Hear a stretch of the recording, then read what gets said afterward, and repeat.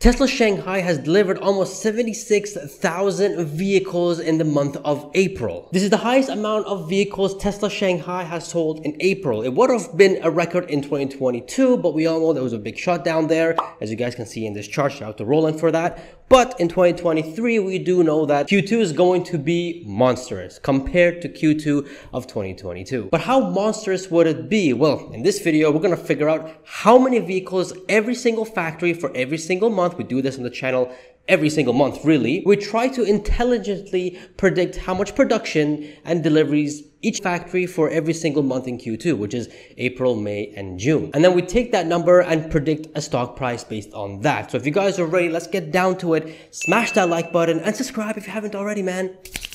Let's go. So starting off with Shanghai in April, we don't need to figure out how many, you know, production there was. We just can put deliveries because we are looking for the deliveries at the end. But we can assume that they did about 70 to 80,000 in production. We'll come to that later on in the video. But in April for Shanghai, we have shy of 76,000 vehicle deliveries. And I put here in the delivered section so it doesn't get duplicated in the production section. Now we're going to figure out for May and June. And as you guys can see, we have daily production between 2,600 to 3,000. We do assume that it is 3,000, but there is some news coming out there's a rumor coming out. I'm not too sure if it's true or not. Maybe you guys can help me out by putting, you know, your thoughts in the comments, or maybe if you guys have facts, comment down below. I very curious to know. There's rumors going around that for May and June, Tesla Shanghai is going to be shut down for five business days. So I'm not too sure if that's true or not, but for this month, because we'll update this again next month as well, we're just going to go ahead and deduct the five days for May and June on a average rate of 2,800 vehicles being produced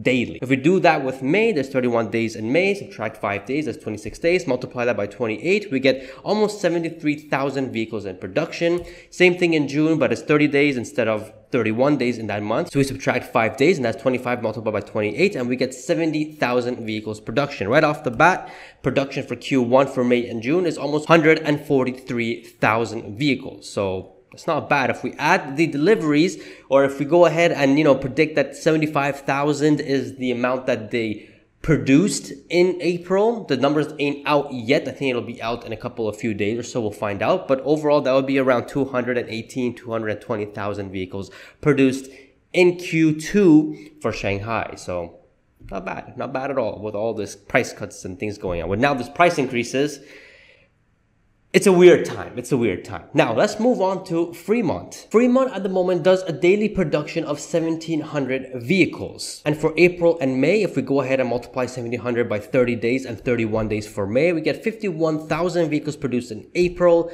And in May, we get almost 53,000 vehicles produced. Now, I'm not aware of any holidays in April and May. So if there is, well, comment down below. We can update that next month. And then for June, I did find some holidays. At least one day was a holiday. So subtracting one day out of 30 days, 29 days multiplied by 1700, we get over 49,000 vehicles produced. Overall, Q2 of 2023, 153,000 vehicles produced out of Fremont. Sheesh, not bad. I mean, it's on par, it's on rate. The max capacity is around 650,000 for Fremont, for now at least. Moving on to Berlin. Now, Berlin is very exciting because just a few weeks ago, they passed 5,000 vehicle production weekly. Sheesh moment right there. That's about 714 vehicles daily being produced. But let's go ahead and see how insane Q2 will be for Berlin. So in Berlin in April, there was two days holiday for it. So I did 700. I know 714 is 5,000 vehicles being produced weekly. To be conservative, I reduced it down to 700 and I multiplied it by 28. Almost 20,000 vehicles being produced in April for Berlin. In May, there's three days holiday in Berlin. So nice. They get, quite a bit of, you know, holidays there. So multiply that by 750. I am increasing the capacity because they are ramping up and you would get 21,000 vehicles being produced.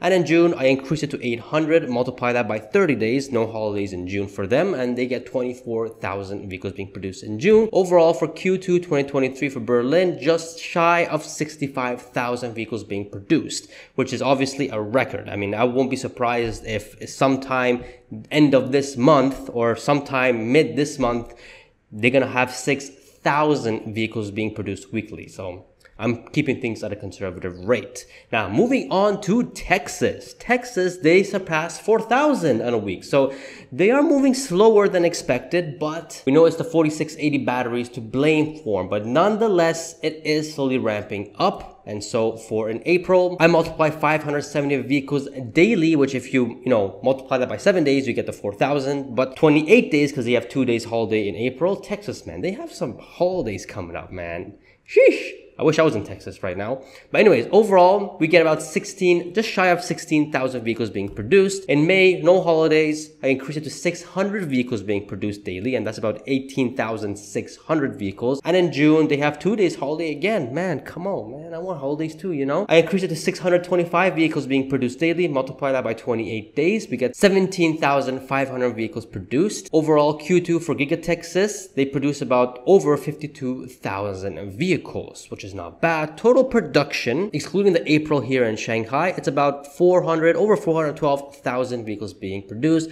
I'm gonna give this a 90% delivery rate. Total deliveries, and if you add the April of Shanghai, is about 447,000 vehicles, a little bit more than that, but that's the number that looks like we should be expecting for Q2. Everyone is saying 450 at least let's see. Let's see. I'm, I'm curious to see how May is to look like for Shanghai. Then we'll come back and see how the numbers will play out in an update. But nonetheless, over 447,000 vehicles being delivered. Overall production, I'm guessing it'll be over 487,000 vehicles. All I did was add 75,000 vehicles to production because that's kind of how much they delivered. And that's what we get. Again, we'll know that number in a couple of few days from this video. Overall, if they deliver over 447,000 vehicles, that would mean Tesla has delivered almost 870,000 vehicles so far in 2023. It's going to continue to be ramped and we're going to we're going to continue to see record deliveries for sure as we keep going on with the quarters. Now, if you guys are ready to see what the stock price would be, smash that like button. Let's go see what the stock price would be in Q2,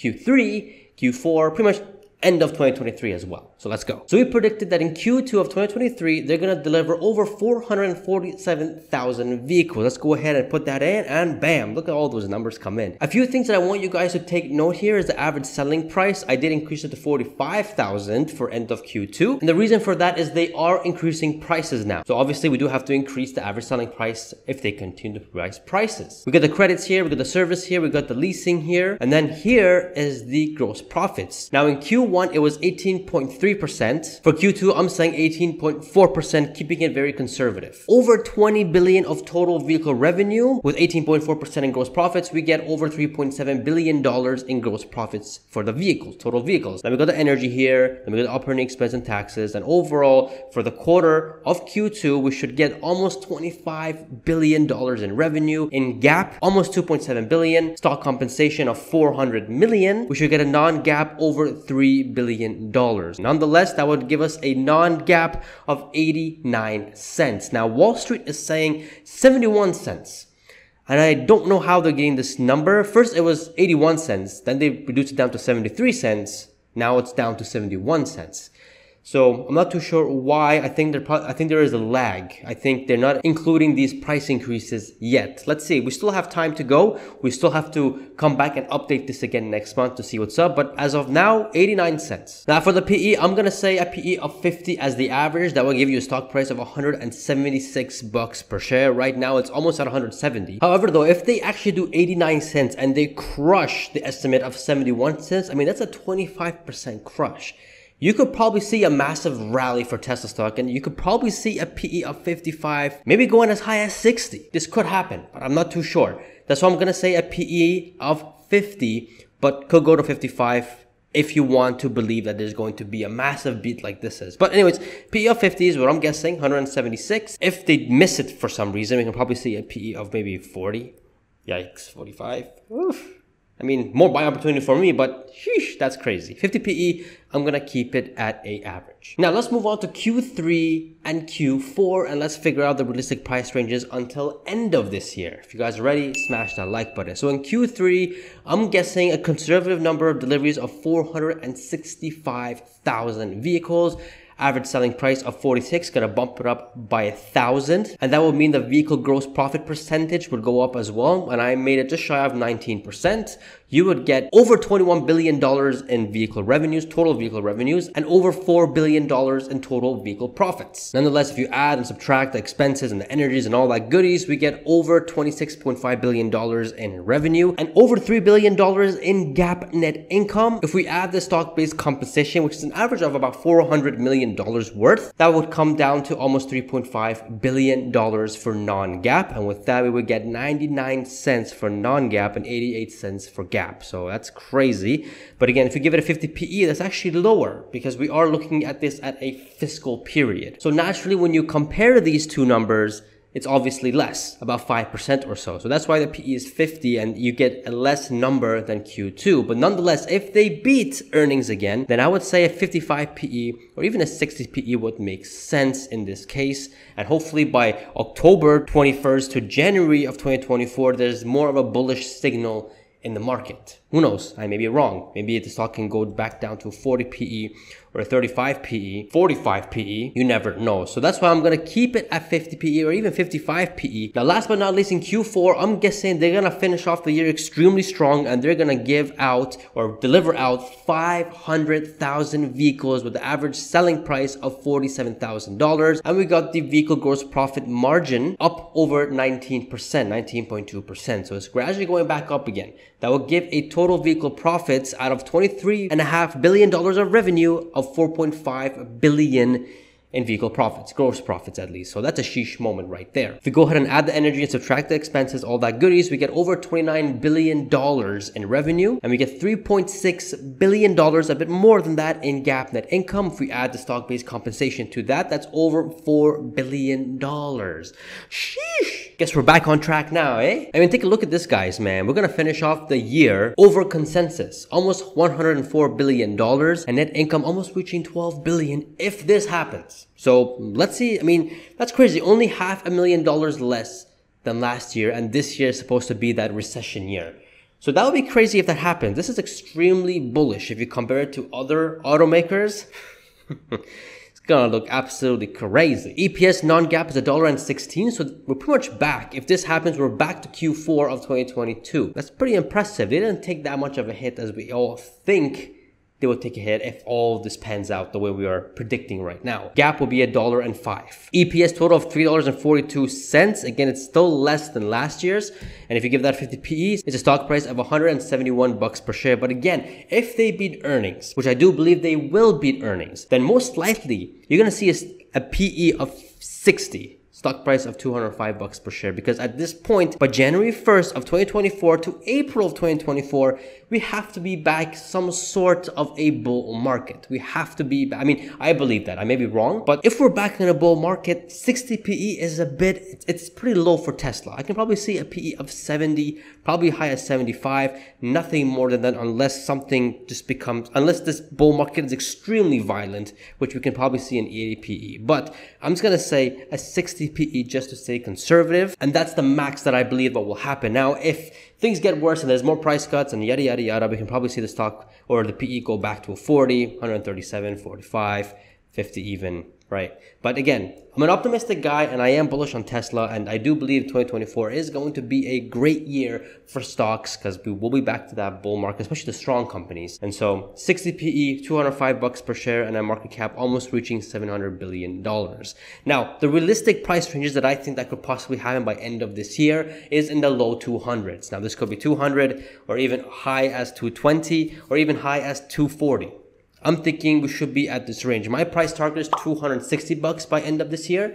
But let's see what will happen. This is all a prediction and a prediction alone. Take all this with a grain of salt and always do your DD. So there you guys have it. Remember this number, 447,000 vehicles being delivered in Q2. Now again, we'll come back next month and update this. So make sure you, you guys are subscribed to see that video. But nonetheless, is this a good time to buy Tesla stock? Because it keeps going lower and it is down 60% from their all-time highs and it is a great company to hold for the long term term? Well, I got you covered. Check out this video. We go over the bear, base, and bull case from now to 2025 to see if it's a good time to buy right now. And if you do buy right now, what will your loss and gains be by 2025, 2024, all that good stuff if you decide to sell then at this base bear and bull price. Anyways, you guys have to go ahead and check it out to find out exactly what's going on. Subscribe for more and support channel, become a channel member or getting some merch, man. I shall see you guys in the next video. See ya.